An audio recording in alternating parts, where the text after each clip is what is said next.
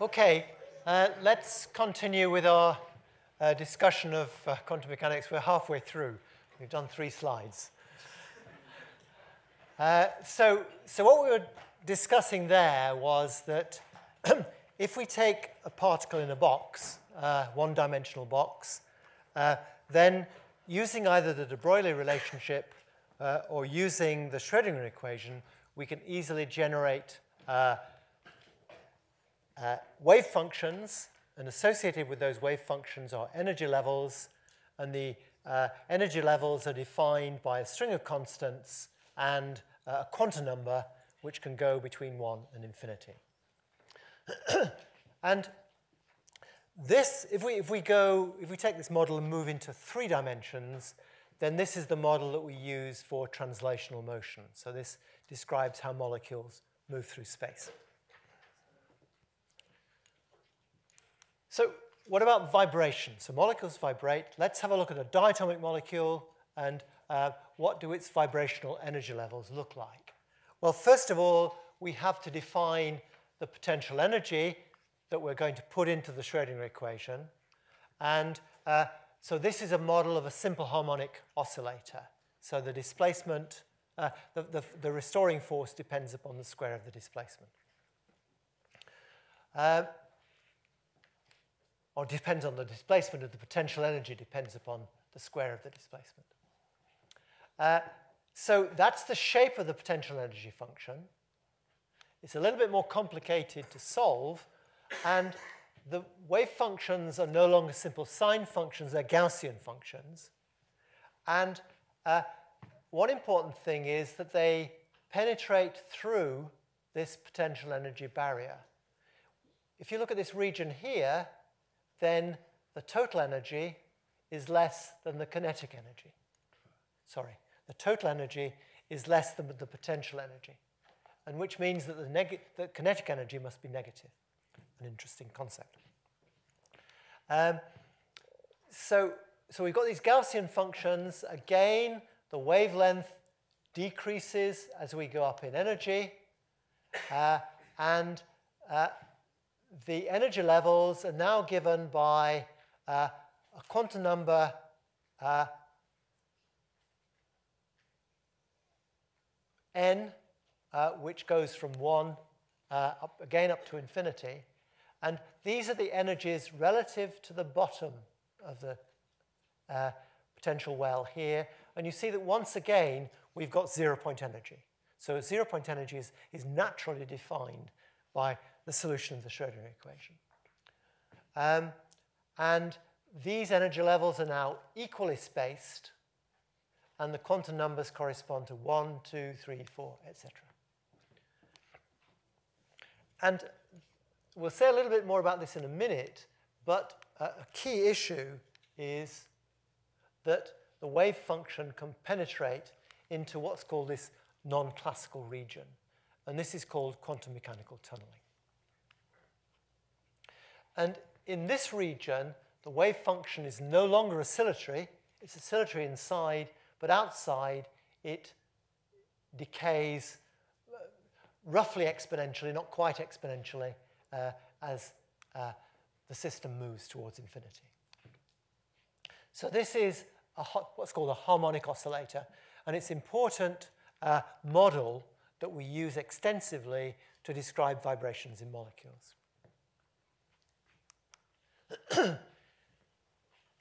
Let's have a think about the quantization of different sorts of energy. Uh, so electronic energy levels refer to the motion of the electrons in the molecule. So, so we have a molecule, uh, say a diatomic molecule, which has got, we've got electrons, and these electrons are moving around, and we can uh, have different energy levels associated with uh, with these electrons. and we can determine these energy level spacings experimentally, or we can calculate them using quantum mechanics. And those energy levels are usually very widely spaced. Uh, the vibrational energy levels are the next most widely spaced, and there's a stack of vibrational energy levels associated with each electronic energy level. Uh, of course, vibrational energy levels are only going to occur in molecules. They won't occur in atoms. And then, whoops,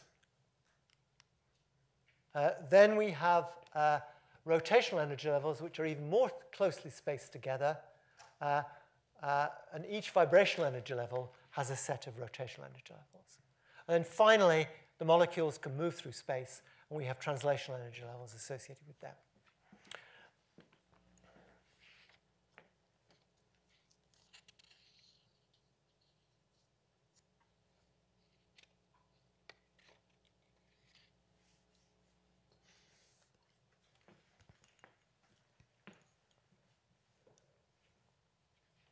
And as we'll see, and I'll say a little bit more about this later on, the important, uh, one of the important quantities is the spacing of these energy levels compared with uh, um, the thermal energy, uh, compared with, with RT for a, a molar system or compared with, as we'll see, KT for a molecular system. Okay, now, one of the really interesting things that comes out of quantum mechanics and comes out of it quite naturally is the process of quantum mechanical tunneling. And let's illustrate this with respect to this. There's the potential energy. It's a step. And there's the total energy. And so the potential energy is constant over here, and it's constant over there, but it's greater than E here, and it's less than E here.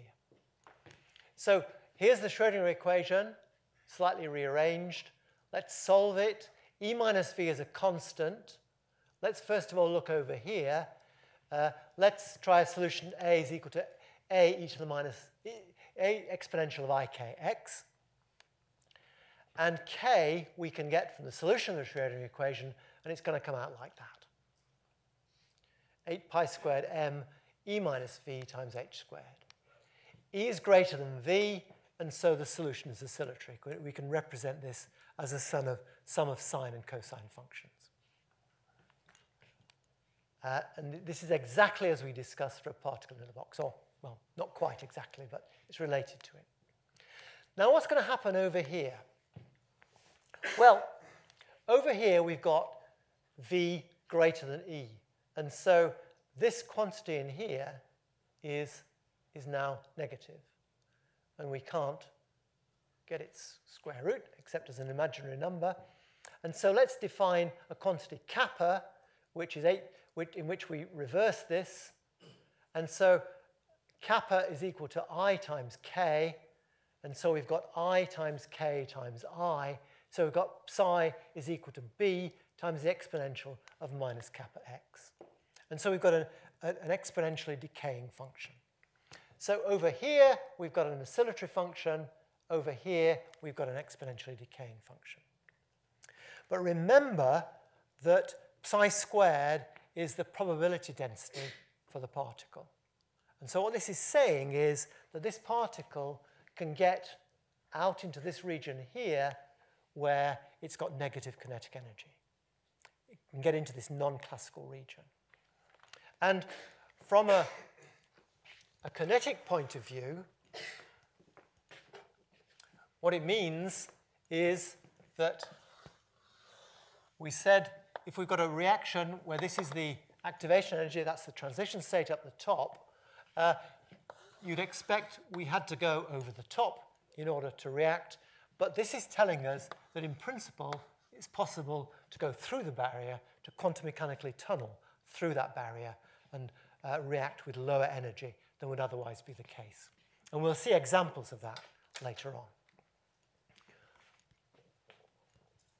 And an important thing is the dependence on mass.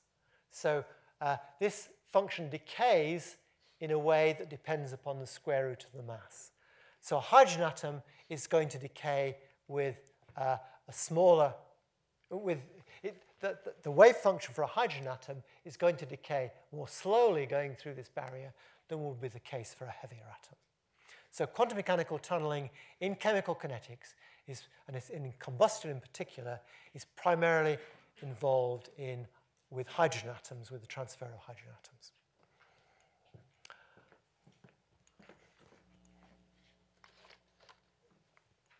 Okay, uh, that's, that's all we're going to say about uh, quantum mechanics, at least for today. Um, and uh, the important things to bear in mind are that out of quantum mechanics naturally comes quantized energy levels. Uh, and the spacings of, of, those energy levels is going to depend upon the type of energy we're dealing with. Um, in addition, out of that solution of the Schrodinger equation comes the wave function. And the wave function is, is a key attribute in determining uh, all sorts of things, such as uh, uh, rate constants for reactions. Uh, and then finally, this issue of quantum mechanical tunneling, which arises because of this decay of the wave function into the non-classical region, uh, allowing uh, systems to penetrate through energy barriers. Okay, now let's have a look at statistical mechanics. Um, so statistical mechanics is the determination of macroscopic properties, thermodynamic but also kinetic, uh, from microscopic properties of the component molecules. So um, the, uh, the spacings of the energy levels of the molecules is important in determining their thermodynamic quantities, uh, and StatMech allows us to calculate those properties. It relies heavily on a description of the energy levels of the molecules and the distribution of the molecules throughout these energy levels, and we'll see how, how that can be determined. We'll examine thermodynamic properties of what are called canonical ensembles. Uh, so these are ensembles of molecules in which we've got a constant number of molecules, a constant temperature, and a constant volume. Uh, I'll explain later on why the constant volume is important. Um, we also will deal with what are called microcanonical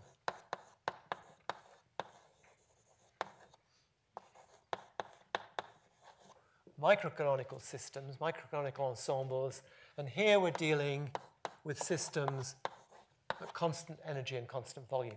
So this would this is particularly important when we're dealing with molecular systems. We might want to know what's happening at particular energy in this molecular system. We'll base our discussion on the most probable distribution of molecules throughout the energy levels. Um, these molecules, molecules can be distributed throughout these energy levels in any way we want, or any way they want, provided that we conserve the total number of molecules, the total energy, uh, and we have a constant volume. So, so uh, sorry, the total energy is defined by the temperature. So, so the total energy of the system is defined by the temperature. But one of the important things is that we have an enormous number of molecules. We're dealing with a huge, huge number of molecules. And this has consequences in terms of, uh, of, of, the most probable distribution. And that most probable distribution is by far and away more probable than any others. Uh, so, so because of the large numbers of molecules, there is, there is this key aspect of them that this most probable distribution is the one that's important. Uh, so, and we get this, this uh, most probable distribution by maximizing the entropy. Um, uh, the most probable direction of, of, of, of, a system moving is towards maximizing its entropy, as we discussed before. And this allows, this involves spreading the molecules as widely as possible throughout the energy levels. If we had a set of energy levels and we simply put all the molecules in the lowest energy level, there's only one way of doing that. That's by putting all the molecules in the lowest energy level. But if we spread them out, we can do that in lots and lots of different ways by moving those molecules around. Uh, and so uh, maximizing them is going to spread them out as much as we can, provided we keep, uh, it's, co it's compatible with the constant temperature. Okay, so this is uh, Ludwig Boltzmann. Uh, this is his uh, um, monument in Vienna, uh, and, and he was a truly great man. He, people, unfortunately, didn't realize just how good he was at the time, but uh, what he has done is, is, is, has been phenomenally important in, in, in our subject. Um, and what he says is that molecules are arranged throughout the energy levels subject to a constant total number. That's how we define the canonical ensemble. And a constant total, ener total energy, E. This was the energy of a particular molecular, particular set of molecules here. This is the energy of the total system. Uh, and n is very, very large, of the order of 10 to the 23.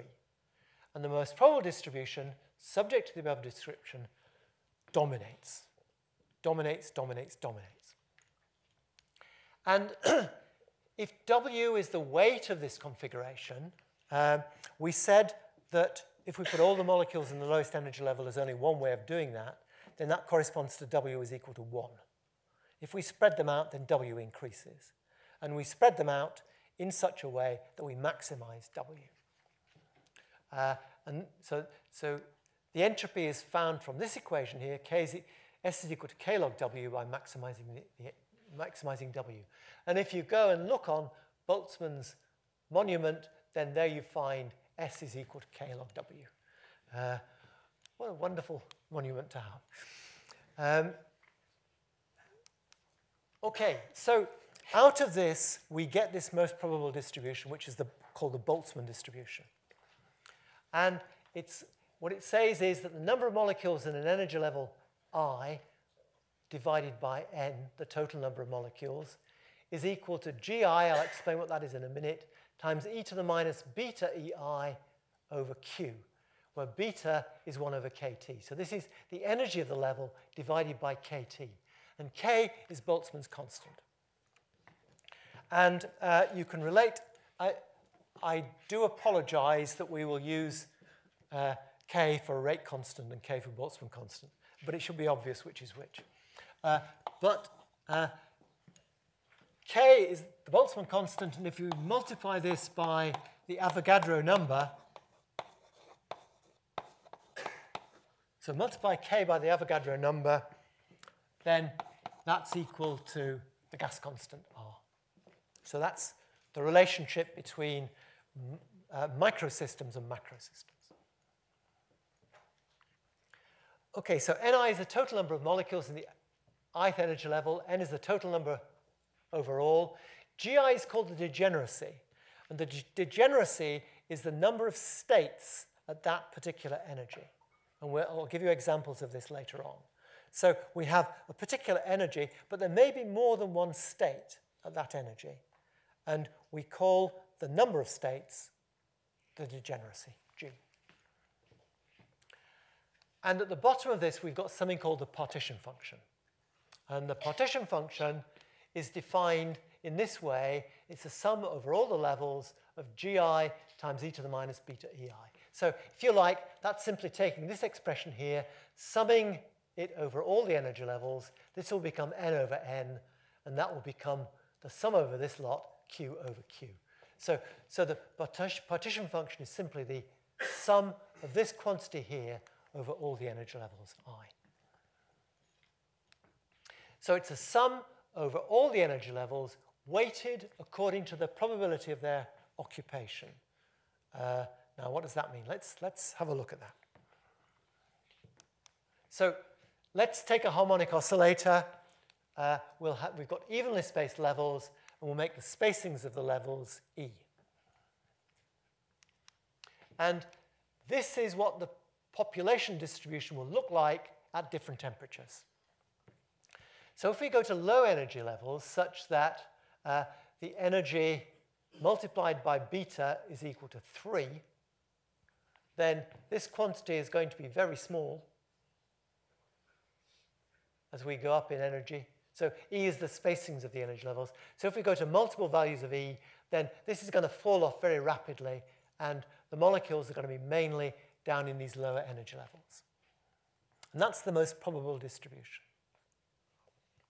If we then increase beta E, this is basically increasing the temperature, Remember, beta is proportional to 1 over the temperature.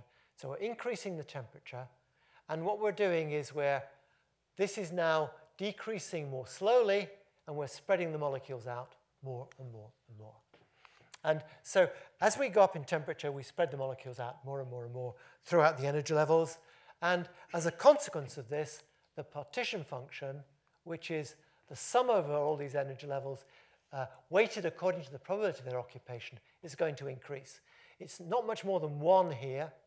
If all the molecules are in the lowest energy level, then Q would be 1. Uh, and as we go up, then this partition function increases.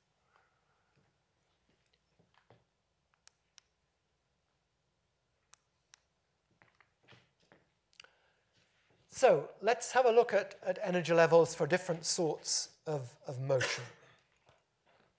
And uh, let's remember, and we've got Planck's constant first of all, uh, 6.626 times 10 to the minus 34. Uh, we often define a quantity called h cross, which is h over 2 pi times c, where c is the speed of light. Uh, so c is the speed of light. And then this quantity here, kt over hc, is 207 wave numbers. Uh, now, um, why, why wave numbers? Um, if, if you look at, at if, you, if you study spectroscopy, then what you find is that we often use the symbol centimeters to the minus one to uh, describe uh, molecular quantities, uh, um, a rotational constant or a vibrational, uh, uh, a vibrational number. Um, and uh, this is in, in, in, in units of centimeters to the minus one, and it's basically a frequency proportional to a frequency divided by the speed of sound.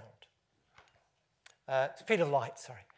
Um, and so it's going to finish up. So this has got units of seconds to the minus 1. This has got units of uh, meters per second.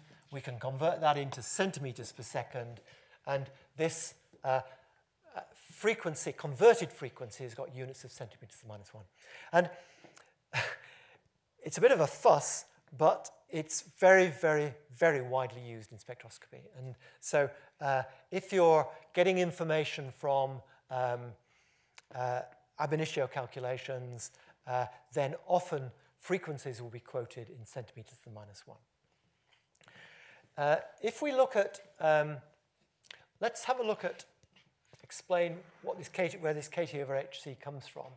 Supposing what we've got is two vibrational levels.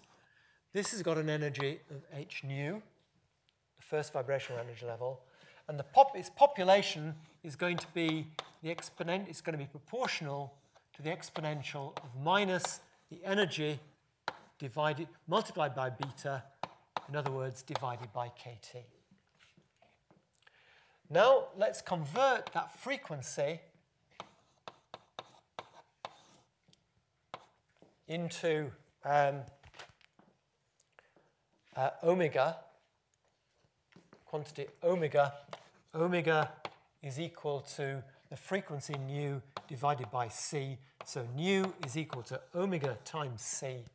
So this is now going to be equal to h times omega times c over kt.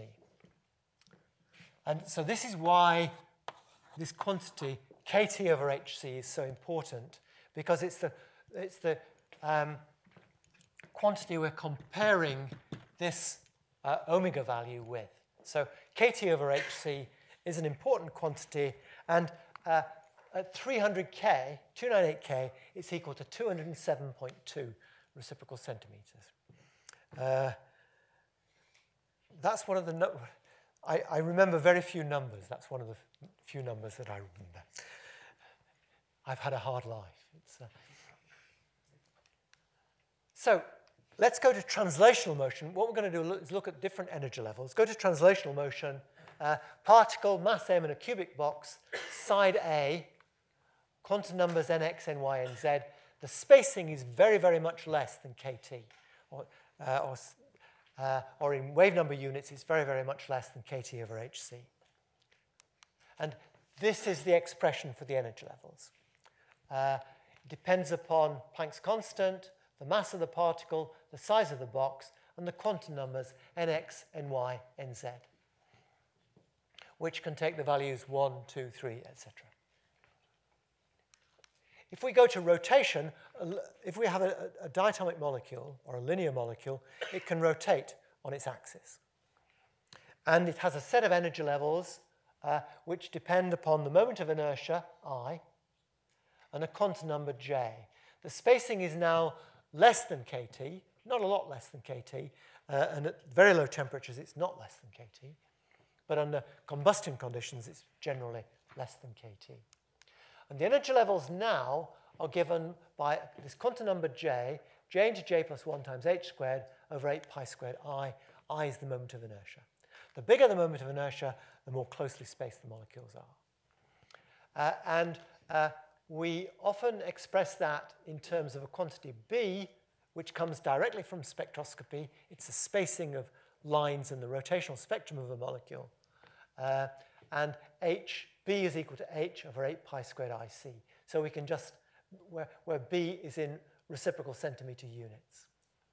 Uh, and so we can substitute in this for this quantity b. And then vibration with a diatomic molecule the vibrational, vibrational frequency nu, quantum number is v, and k, another k, is the force constant, and mu is the reduced mass. So the reduced mass we define in the following way. If we've got a diatomic molecule AB, then the reduced mass mu is equal to the mass of A times the mass of B divided by the mass of A plus the mass of B. So that's the reduced mass. And uh, the frequency depends upon the force constant, the strength of the bond, and, uh, and that determines the restoring force, uh, and the reduced mass mu. And nu is equal to omega times c, as we've said before. And v is this uh, uh, quadratic, uh, this parabola term here, which we looked at before.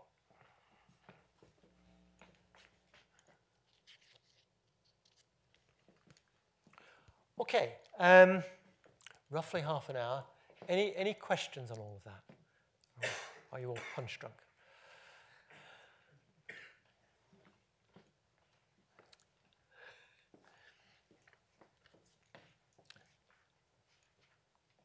This is all relevant, believe me.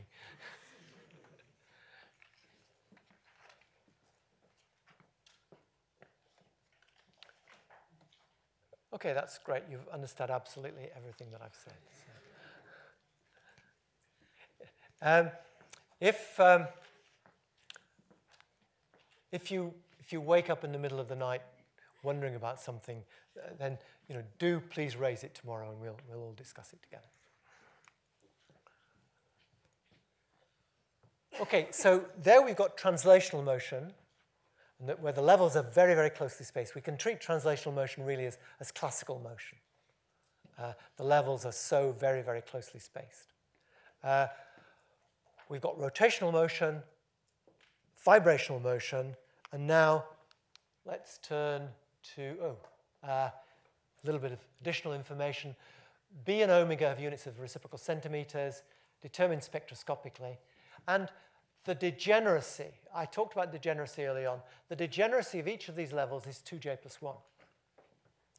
And the origin of that is that the angular momentum is a vector, uh, and that vector can point in various different directions, uh, but those different directions are quantized. It can't point in any old direction. The directions are quantized.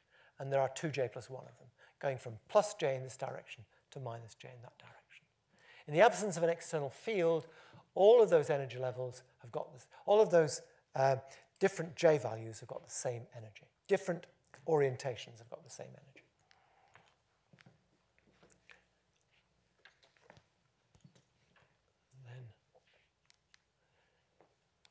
And these refer specifically to diatomic molecules, but equivalent expressions exist for uh, polyatomic molecules with many vibrations and uh, up to three rotations.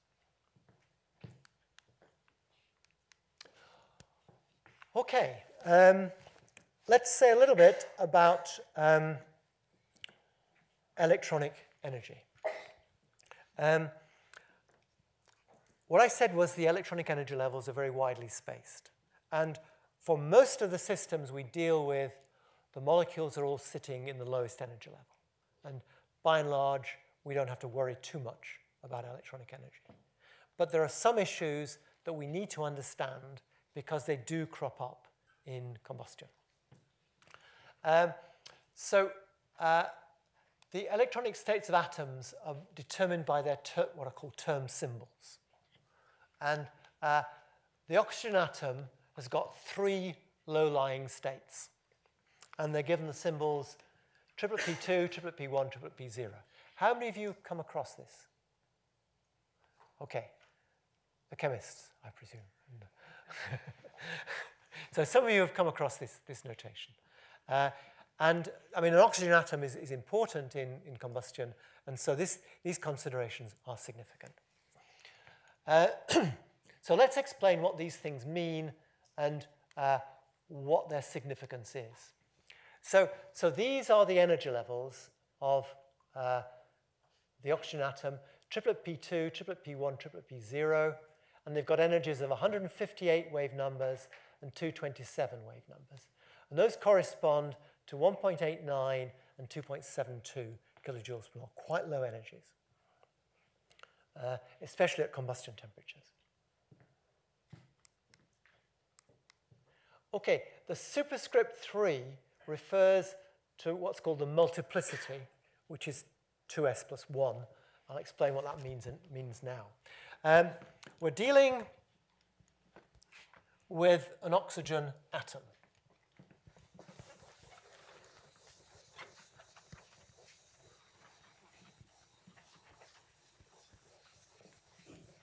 And um, we need to look at what's called the electronic configuration.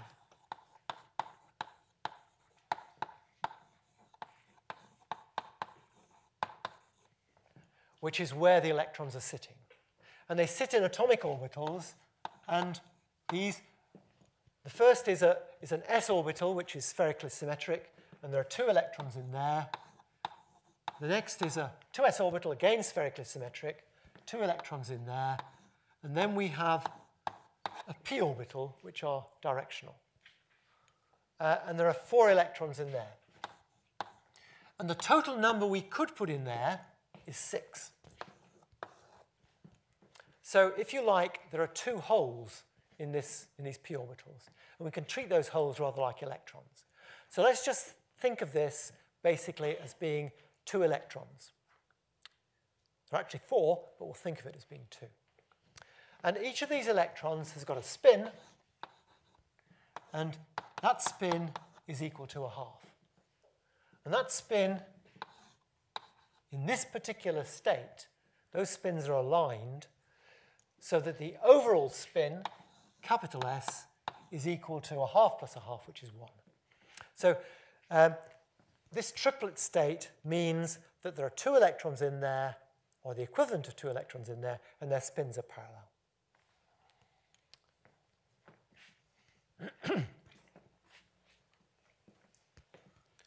so that explains these triplets here. then the P refers to the orbital angular momentum. An electron in a p orbital has got an orbital angular momentum of 1. An electron in an s orbital has got an orbital angular momentum of zero. So we're dealing with four p electrons, or two holes if you like, each of which has got uh, an angular momentum of 1. Now, they interact in a fairly complicated way, and we simply don't have time to go through that. But the net result of this is that the lowest energy states in the oxygen atom have got an overall angu orbital angular momentum of 1. So the overall orbital angular momentum is given the symbol L, and that's equal to 1. So this is the total orbital angular momentum, L, which is equal to 1. And for L is equal to 1, we give it a symbol capital P. So that capital P there means that the overall orbital angular momentum is 1.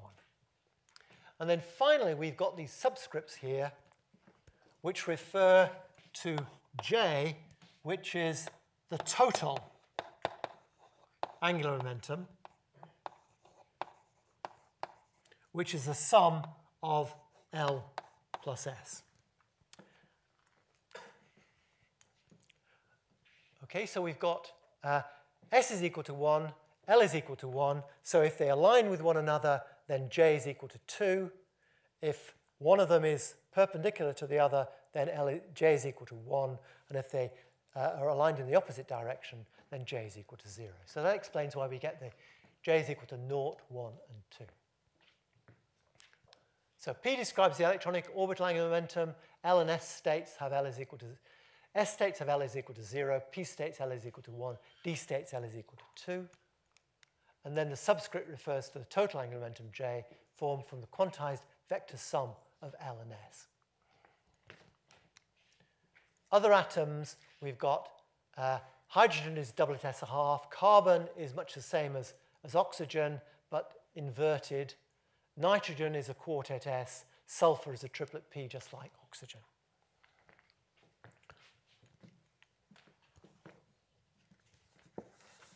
Now, one of, one of the key issues here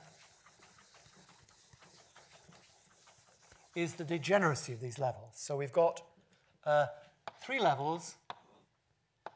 We've got triplet P0, triplet P1, triplet P2, and the degeneracy, G, is equal to 2j plus 1. Much the same as we had before, we've got a, a, uh, an angular momentum vector which can point in various directions, and there are 2j plus 1 of those directions. And so these have got degeneracies of 1, of 2 times 1 plus 1 is 3, and of 5. And remember that the populations of the levels ni over n are proportional to the degeneracy times e to the minus EI over KT. So the populations of the levels are going to depend not only on their energy, but also on the degeneracy.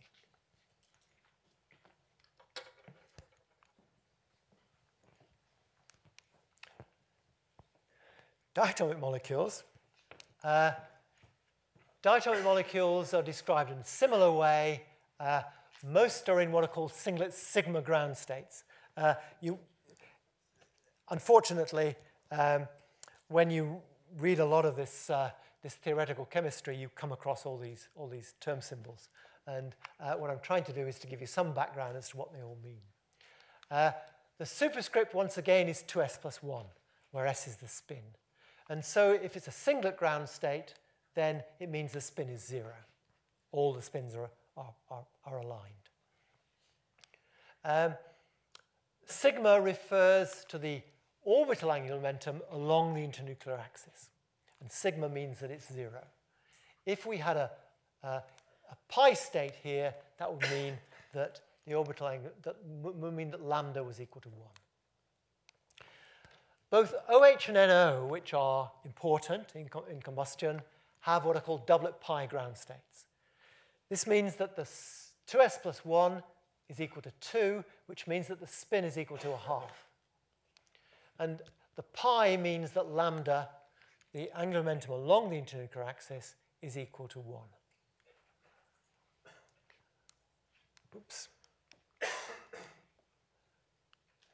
So uh, we now need to consider the total angular momentum, which is the sum of the spin along the internuclear axis and the, uh, uh, the orbital angular momentum.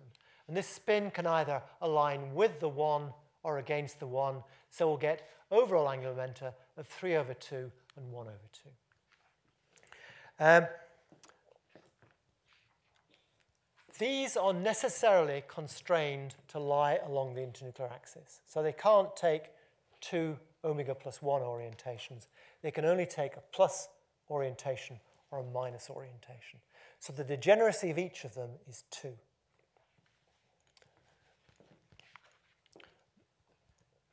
The former is the ground, the omega is 3 over 2 is the ground state, and half lies higher by 139.2 wave numbers for OH and 121.1 for NO. So let's have a look at what that means. It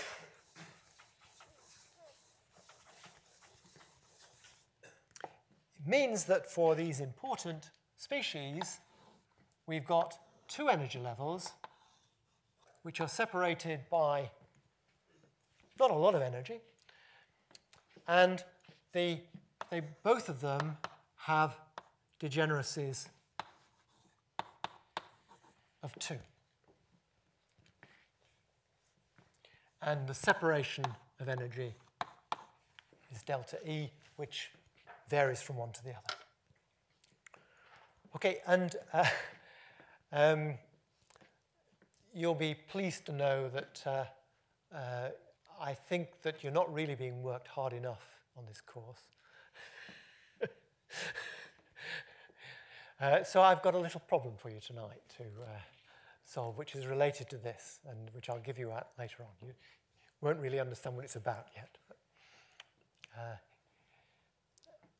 are you surviving after, after not quite a whole day? I think six hours of lectures in a day is, uh, is pretty tough. But you're all up to it, I'm sure, aren't you? Okay, polyatomic molecules. Um, just let me give you one example which is important in combustion, and that's methylene. So most molecules have singlet ground states uh, so that uh, 2s plus 1 is equal to 1, which means that the spin is equal to 0. There's no net spin.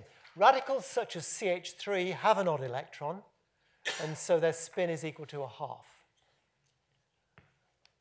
So that's important to remember in terms of degeneracies.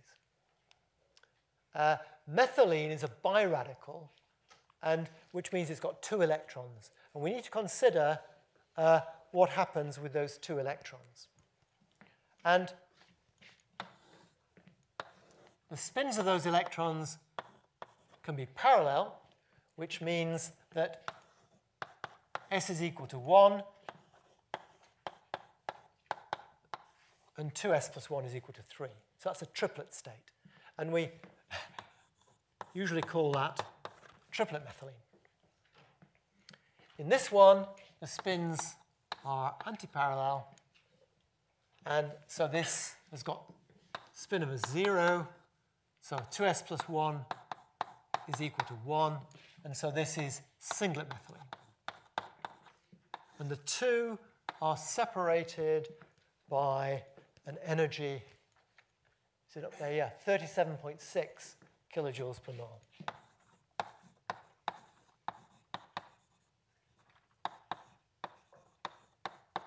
So at room temperature, most of them are going to be, or, or can be deactivated down to the ground state. But as you go up in temperature, then the population of the, of the singlet state increases. And this is much more reactive. So the triplet ground state is comparatively unreactive. The rate constants for its reactions, apart from with oxygen, are quite small, uh, but, the, but the singlet is really much more reactive. Uh, so singlet and triplet methylene.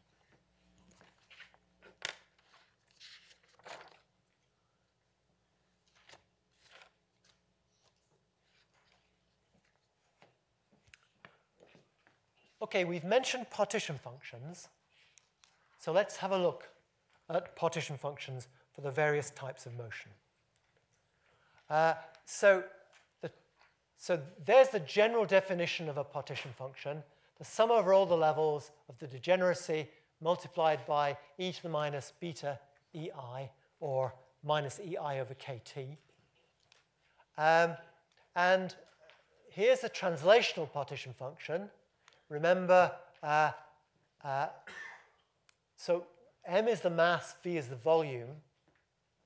And the translational partition functions depend upon the total volume. And they depend upon the total volume because, as you remember, when we solved the Schrodinger equation for a particle in a box, the size of the box was important. So in one dimension, the size of the box A was important in determining the spacings of the energy levels. So when we go to three dimensions, it's the volume of the box that's important. And so the spacings of the energy levels, and therefore the partition function, depend upon the volume. Uh, now, we will use uh, a sort of modified partition function, Q, uh, especially when we're talking about transition state theory, which is basically the partition function divided by the volume. So we've taken this volume term out of it. Rotational partition functions, Q rotational is kt over sigma hbc. B, as I mentioned before, is the rotational constant, which we get from spectroscopy, and it's proportional to 1 over the moment of inertia. Uh, and it's got units of centimeters to the minus 1. That's why this C is in there. Sigma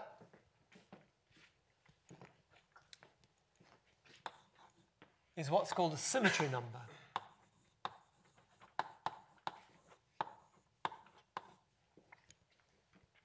And uh, it differs, for example,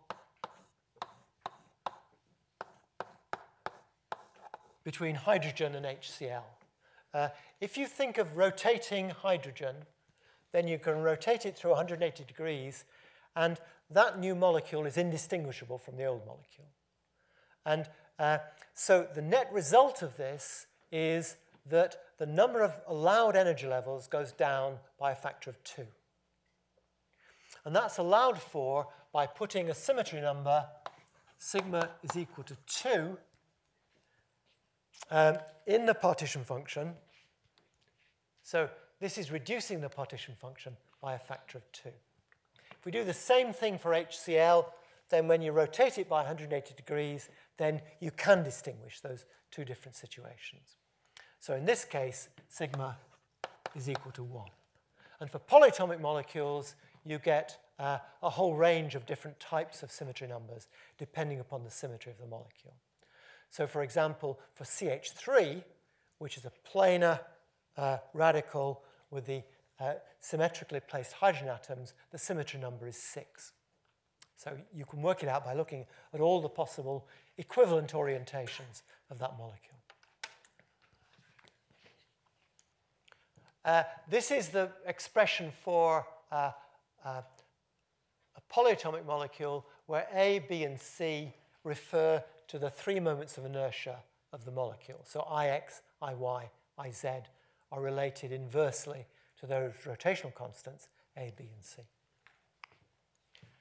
Q vibration um, uh, is Hc omega over Kt for a linear molecule, for, sorry, for a diatomic molecule, and for a polyatomic molecule, then it's the same expression, uh, the product of the same expression over all the different vibrations that you have. And these vibrational partition functions, uh, as I've written them, refer to the zero point energy. And that's the most useful form of expression for us in, in chemical kinetics. Um, if you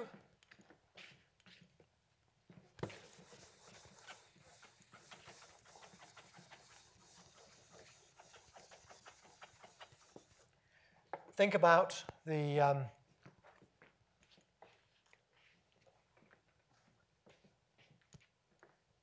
supposing what we've got is we've got uh, a molecule with n atoms.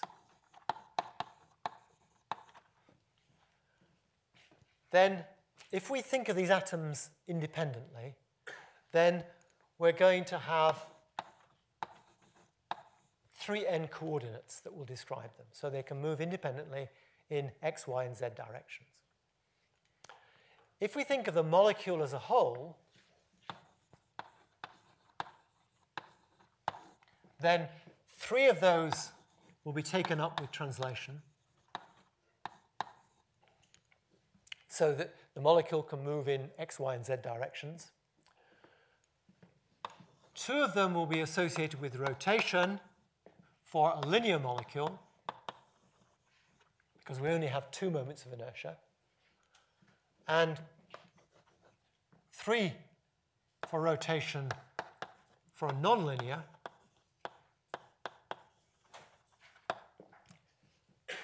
And this means we're going to have 3n minus 5 or 3n minus 6 vibrations, depending upon whether the molecule is linear or nonlinear. So that's an easy way of working out how many vibrations you have for these different molecules. Degeneracy, I've mentioned this several times, uh, is the number of states, distinguishable states at a given energy EI. For rotational energy level J, the degeneracy is 2J plus 1. For an atom, the degeneracy is also 2J plus 1, uh, so that we have these degeneracies 5, 3, and 1 for oxygen. Uh, for the lowest state of H double P a half, I'm afraid I got the half as a superscript in your notes. It should be a subscript. Uh, that degeneracy is 2. For diatomic molecules, the degeneracy depends upon omega. And note that as we'll see later, we need to include these electronic degeneracies in calculations of entropies, equilibrium constants, and also in transition state theory calculations.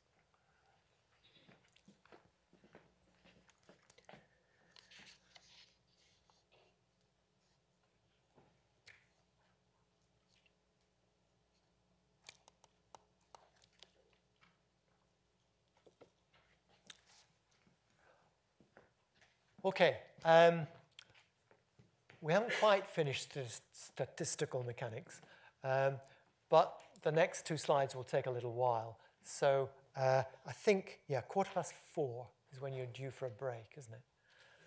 Yes, said very vigorously.